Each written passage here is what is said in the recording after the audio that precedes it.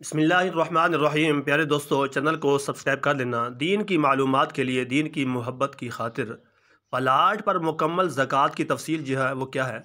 जिस पलाट के ख़रीदते वक्त बेचने की नीयत हो, वो माल तजारत के हुक्म में होता है और हसब शराइ उसकी कीमत पर ज़क़़त वाजिब होती है। और ये नीयत करना कि उसको बेच कर जो रकम मिलेगी, उससे रहायशी मकान ख़रीदेंगे। उसके बावजूद हुक्म बद, नहीं बदलेगा बल्कि ज़क़़त वाजिब होगी। लिहाजा सूरत मसूला में आपने अगर पलाट इस नीयत से ख़रीदा है कि आइंदा जब उसकी कीमत बढ़ेगी तो फ़रोख्त करके घर ख़रीदेंगे तो उस पलाट की ज़क़़त निकालना वाजिब होगी।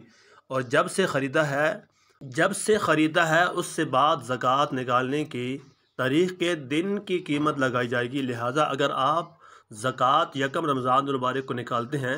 यानी यकम रमज़ान मुबारक को आपका साल मुकम्मल होता है। और आपने पलाट यकम रमज़ान से पहले ख़रीदा था तो यकम रमज़ान मुबारक में पलाट की जो कीमत होगी, उसके अतबार से गुजरे हुए साल की ज़क़़त वाजिब होगी। साहब निसाब बनने के बाद हर हर माल पर साल गुजरना ज़रूरी नहीं, बल्कि ज़क़़त की तारीख़ जो कुछ अमवाल ज़क़़त की मलकियत में हो। सब की ज़क़़त वाजिब होती है। हाँ वो एक दो दिन कबल ही माल में इजाफ़ा हुआ।